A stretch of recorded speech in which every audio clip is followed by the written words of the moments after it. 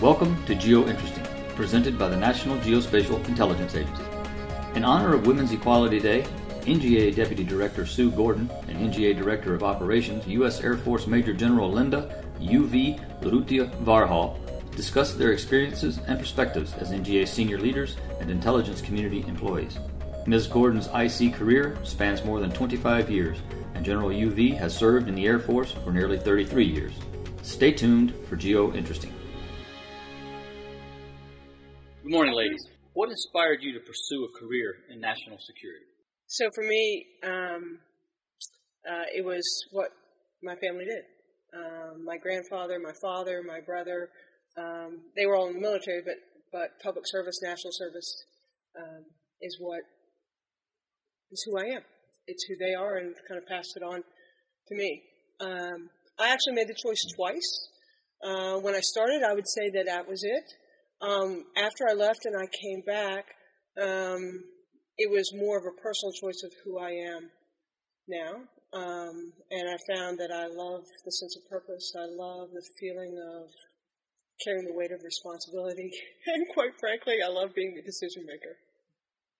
No, what you? Uh, I came from a small town in Pueblo, Colorado, and none of my family was in national security. My some of my uncles were were drafted, but when I was 13, I went up to the Air Force Academy and I saw him march. And I actually told my uncle that uh, one day I would graduate from from the school, and uh, he looked at me and said, "Oh, but they don't let women uh, attend the Air Force Academy." And I said, "Well, just watch me." And sure enough, uh, about 11, about 10 years later, I was uh, fifth class woman in 1985 and joined it. And I tell you, the opportunities have been presented. I've joined the Air Force so my family could see the world. Um, I've never looked back. Before I knew it, I was already at 20, and even now, I'm already at 30 years, and I, I can't get enough of it. I just, I just love it, what I get to do for my country. Wonderful. I love that. Just watch me. That kind of epitomizes who you. yeah, kind of epitomizes who you were um, over at the Pentagon, your last job, and it epitomizes your first how many months here? Just a month. Yeah, your first month here. Just watch me. But I thought yeah, it was so it. cool because I, I even forgot about it, and when I graduated, he, he reminded me I said that almost 10 years ago, which yeah. I didn't even remember. Is there any one particular experience that you look back on as a defining moment in your career, either of you, or in your life? Oh, golly so many because I've had a career of a bunch of distinct careers that have added up to my career. I um, I think I think for me it was uh, early on in my career. I was a GS10, so what is that, a band two? GS10 a band two, um, and I had left uh, technical analysis and I went over um, and I was uh, part of the building collection systems. And I was given $50 million to, and kind of a blank slate piece of paper to come up with a new concept um, for a collection system that had a $3 billion price tag, and they said, come up with something that's cheaper than that. And that was pretty seminal because I was young and it was big. Um, but the best part is, is um, it turned out okay, but in the midst of it, I had a massive failure um, that taught me everything about how much you need to know to be good, how much uh, the technical solution isn't the whole part of the game. And the best part is when I just really messed it up and I told my boss, my boss said, eh, I've seen worse. And so if I think about that event, it both informed how hard I learned to work and how good a leader I want to be so that anyone underneath me can go, anything bad can happen. I can say, ah, I've seen worse. We can get we can get out of this. Very nice. Matt? Well, and I had a couple. Uh, I had a couple. I've always said since my I started here was to move an organization forward, you have to be uncomfortable. Uh, one of the uncomfortable positions that the Air Force put me in was they put me as a base commander. I've been intel my whole 30 years, and I was a base commander. So instead of looking at JWICs, I'm looking at uh, a fire response team or I own the golf course or even, you know, the the commander's toilet doesn't work. So it was those type of things that, that I got to do. It made me very, very uncomfortable, but I'll tell you, it was one of the very, it really forced me to look outside of my career and just use the management and leadership techniques that I had, I had been taught. The other one was having the great opportunity to work for Director Clapper for almost three years. Once when he was USDI, and then I moved over with him and helped him work with his confirmation. The world that he showed me, he taught me to be comfortable in any environment, uh, the way that he handles himself, the, the world leaders I got to meet. He just showed me a world that I don't think I've ever would have uh, even had a chance to be part of if I wouldn't have been with him. And he was just a, a, a great a great leader for me to get to work with him and learn his skills for the last three years. Is there a particular woman who stands out in your mind as a trailblazer for other women, or one that particularly set the bar for you? General UV. and mine is Sue Gordon. Yeah. no, I got to tell you, the reason I came here was because Sue Gordon. When I was a deputy at the Air Force, um, I was not happy with the relationship we had between the Air Force and NGA. One of the things we did as soon as Ms. Gordon came in was to work with her as a deputy, as I was deputy Air Force. And the things we managed to do in the last three years was just totally amazing, including getting OPIR data to, to, to NASIC. And then when this opportunity came up, I specifically called Robert and said, I want to come here and work. I want to work with your team and I want to work with Sue Gordon. How has that experience been? It's been great. It is, is everything I expected and more. Wonderful. So I was I was not really being as glib as I, I sounded, and I, I think if you just look over the course of of my career, there have been women throughout. Um, some I got along with, some I didn't. Some Stephanie O'Sullivan, who I saw when she was junior, and we knew what greatness she had, and now I get a chance to watch her lead.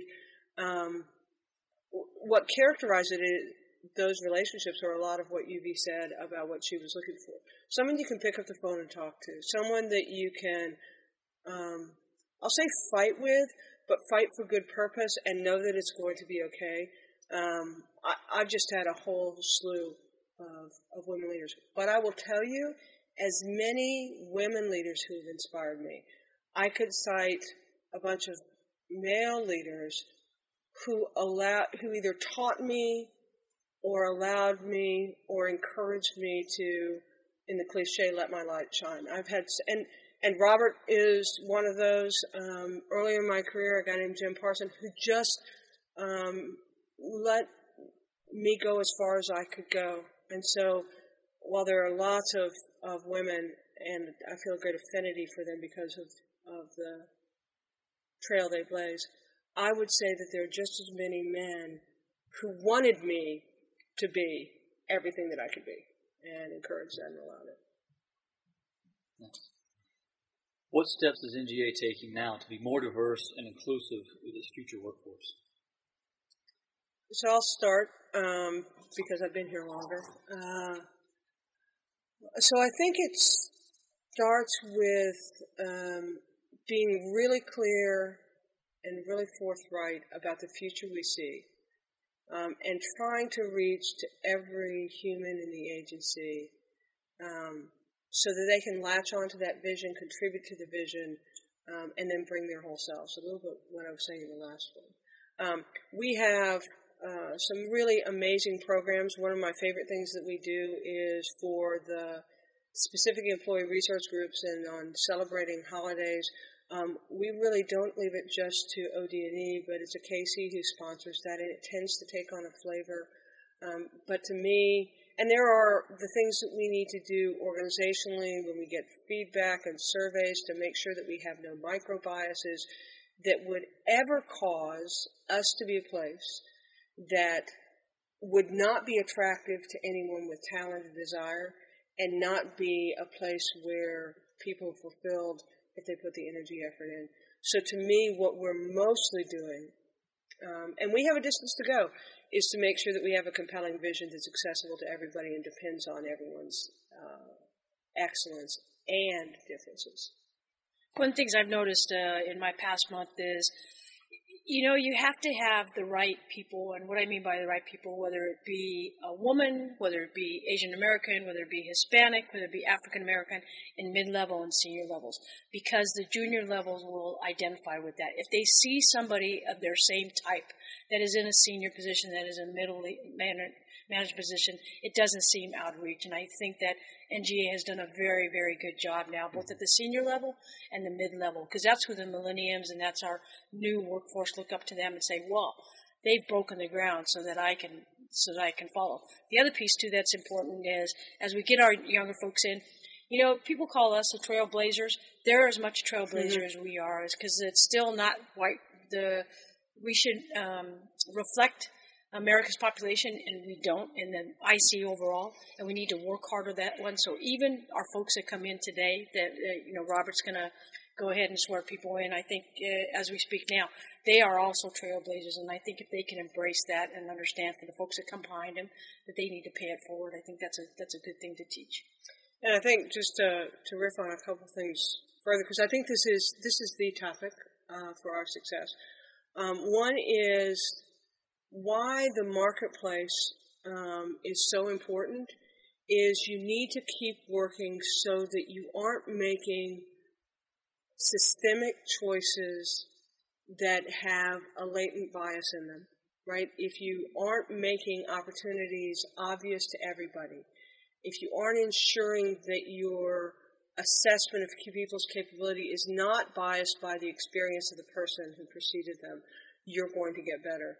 Um, and the second thing is why this is so important and why um, uh, UVs talk about getting leaders um, with all different faces and backgrounds into the mid level is there is not one face of excellence.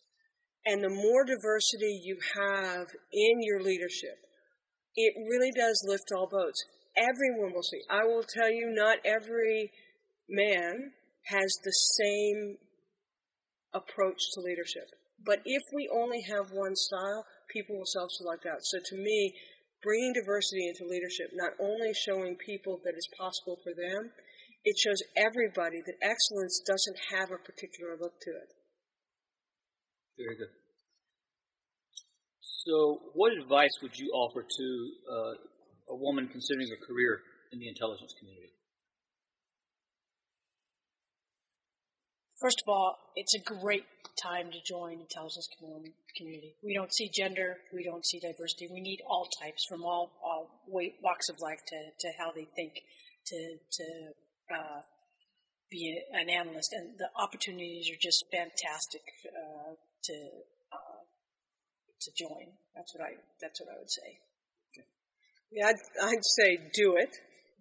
Um, just it's it, it's such a dynamic, complex, fascinating world where the answers aren't known, so you get to be a part of trying to divine it. Um, and the second thing I'd say is remember, even if you join a particular agency, the point is not that agency. The point is the combination of what we each bring uh, to advance national security. And never has it been more possible to achieve the kind of integration that the problems demands. So the second thing I'd say is join.